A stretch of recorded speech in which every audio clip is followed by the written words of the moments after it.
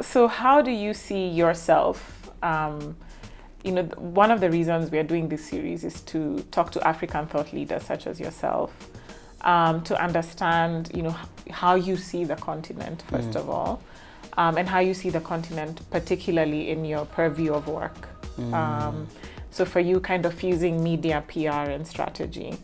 Um, you know, what's your hope for the continent um, in, in that in your in your area of work? Okay, that's a really nice question. So first of all, every time we get on uh, Zoom calls with any of my colleagues, they just see sun. They're like, oh. And then hoodies, they're like, what? There's sun every day. so I feel like, uh, in that sense, Africa is really going to be a place where people scramble for. The only problem, okay, so we have seen a lot of people coming to Africa now. The only problem is they're not coming as quickly, although we think they are, because we don't have as much like uh, resource and um, what's called infrastructure that's extremely modern, right? We're we're getting there, but we we you still have like a flyover and then a pothole. You see like an expressway then a pothole right next. So things like that. But you want if you have standard development across the board, you'll see a proper scramble to Africa because we have everything. Like give an example of, of Kenya, right? We have mountains, ice, beach, desert, park in the middle of the city, things like that that you can never find in any country. We have the number one hotel in the world now. Uh, so things that you can't find in many other countries. Africa uh, we is in my world, in, in the PR world, Africa is one of those places. So a lot of people are now getting even jobs in communication and communicating what Africa is like. And you're seeing a lot more opportunities open up. Uh, what were for what non-governmental organization, uh, communications officer for this, because people are slowly seeing that you can't let someone seated in maybe the UK in a UK office to tell you what's happening on ground in Marsabit, for example, or Kenya's coast or Tanzania's coast. You have to have someone on ground. So in that sense, we I think we're we're slowly seeing people want like very relatable content and very relatable people that are on ground. And I think uh, Africa's position in the world is you cannot deny it. Everyone keeps talking about um, how you know Asian markets or whatever, people come in, expatriate revenue, and leave. But there's a very solid case to be made for people setting up in Africa and actually making you know like real money. Mm-hmm. And we can see it with with our work. So i know there's a proper scramble coming. Uh, it has started already but in my world it's now up to us to tell them okay leave some for the community. Leave the bulk of it for the community and something like that. Yeah so that's mm-hmm. how we're seeing africa play a role. Yeah, you've actually brought up a very interesting point that I hadn't thought about in terms of the significance of you working in these media houses. The mm. fact that you actually get to be at the center of yeah telling these stories. yeah yeah, yeah. Yeah, what has that meant for you? So when you're when you're when you're a journalist, you break the news, or you know. But when you're a PR, you make the news, right? So you tell them.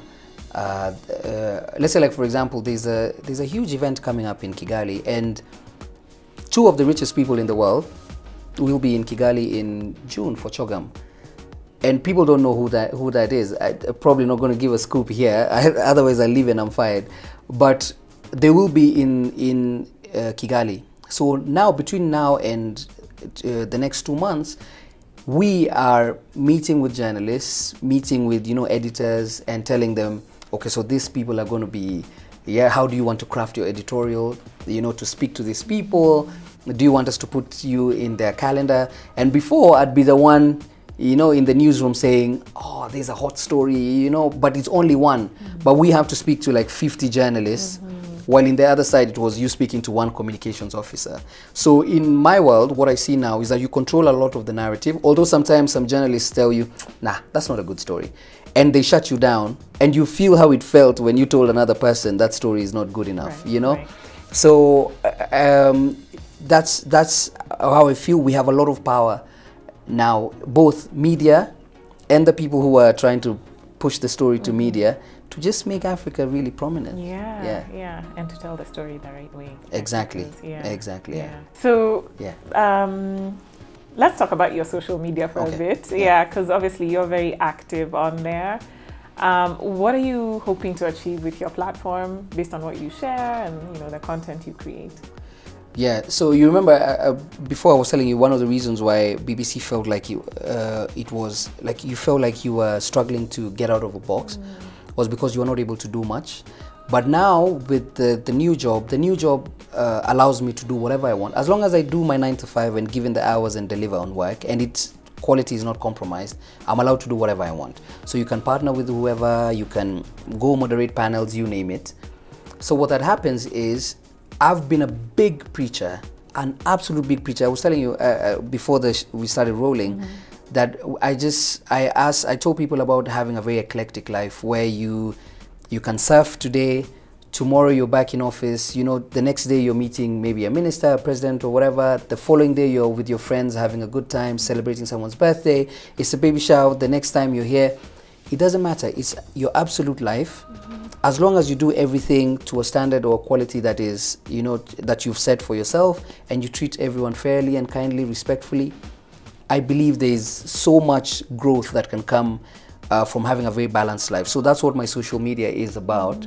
Just showing that you can create balance without, you know, like your life doesn't have to be a, a, a walking LinkedIn. You, you know, you could you could have you could be LinkedIn, Instagram, I and Twitter at the same time. You know, you don't have to be professional. Oh, that's so freeing, George. It's you have no so idea. freeing. It's so freeing. yeah. And most of the people I that battle hire- with that too. Oh, yeah? Yeah, because I'm a total professional, and then here I am podcasting. And Yeah. some days I'm like, oh my goodness, like. yeah um, how far did i go Yeah. what can i tweet what can i post on my instagram Yeah, story you yeah. know but sometimes of course you leave some stuff uh, maybe if you don't want your brand to to go a certain way but there's so much joy and happiness in balance and my social media has now it's like proper therapy sometimes you must learn how to switch it off though because you might Mm-hmm. True. lose your mind True. but uh, that now shows that we have proper professionals on the continent Mm-hmm. who know how to balance. And I was saying, a lot of clients who now come on board, they're so bored in the in the boardrooms and their offices. They want to partner with someone who shows that you can be professional and have a life. Totally. You know, and that there's a proper there's a proper age and market and money being given to people who are just themselves. Yeah. yeah. So I cannot stress that enough. Having a proper balance, proper balance in your life, and showcase through social media mm-hmm. can take you so far. Yeah, yeah. Yeah. I, I feel freed by that message personally because it's like being able to bring your full self. And I, I think sometimes that's why there's this generational divide. Like people are like, oh, Gen Z, blah, blah, blah. And I'm Yeah. like, yeah, but because I think, first of all, they need a bigger reason to believe. And then they just want to be. They just want to be. They just wanna be. absolutely. Yeah. Yeah, absolutely. We were saying somewhere that uh, Gen Z is more focused on saving the world. You're like, huh? You care about conservation and plastic? Yes, as it yeah, should be. Yeah, as it should be, you know. But you think they're just out here, uh, just bungee jumping They for no to reason. connect to something deeper. Yeah, yeah beyond, that's it. Beyond paychecks. Whereas we were like, what job? Where? yeah, exactly. For us, it was like school, do this, Yeah. get a car, get a Corolla first, get a Starlet, then get a Corolla. If you go for a Demio, and then you marry, and then you make the money, and then you get a bigger car, and then you visit your people in your rural area, you build a house there, and then you die. right. You know? yeah. Miserable. Yeah, so now at least the world is changing, and I, I, we're so happy that we're now in this age where you've seen both, Mm-hmm. both the metaverse and landline, and you're just like, all right, I think I'm in the right place This is cool. Yeah. This is cool. Well, Georgie, it's been so nice to have you on the podcast. Thanks so much for having yeah, me. thanks, thanks for coming through. And uh, you know, one of the things that I always, when I think of you, I'm like, gosh, I re- one day I'd like to meet your mom because you're Oh, just so, you're just so well mannered. Like, Oh, yeah, total gentleman. You know what? Okay. Yeah. you're like, Yeah, okay. please, I'll cut this part and send it to her. Yeah. yeah big, ups to to the folks that raised you honestly Thank you, I yeah really appreciate yeah, that, yeah yeah. I think um, you're definitely making an impact and having people to rethink you know what it means to be successful as well Mm. they are exposing the fact that you went through difficult times and um, yeah and you you've made pivots yeah and you know that that's life it, it's never a straight line it's Mm. That's never true. a straight line Yeah, yeah that's true. There's no latency in life. Yeah, there we go. Exactly. Yeah. So I wish you all the best. Thank you. Me t- yeah, you too. Yeah. wish you all the I. I, can't wait to see everything else you accomplish. yeah. Excited for your work at Portland as well. Thank you. Yeah. We have something happening next next week, the week after. So there's always something. So anyone Yeah. tuned in, there's always a surprise on social media. Awesome. Always. Yeah. Awesome. Awesome. All right. Thanks. Thanks so much. Thank Appreciate you. it. Yeah.